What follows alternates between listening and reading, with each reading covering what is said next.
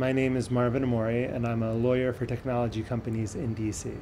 So, what excited me about the startup culture was just how many different walks of life everyone had come from. I mean, there was so many different perspectives and lives and experiences and expertise in that room, and everyone was contributing.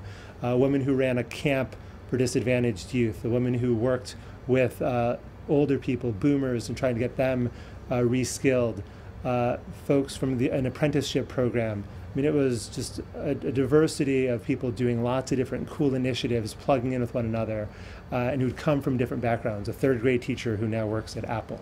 Just every sort of uh, every story was different and unique and contributed. So there, it wasn't just this sort of haze of dudes who graduated from MIT and now work at Google uh, or Dropbox. It was definitely uh, so varied that it was pretty exciting.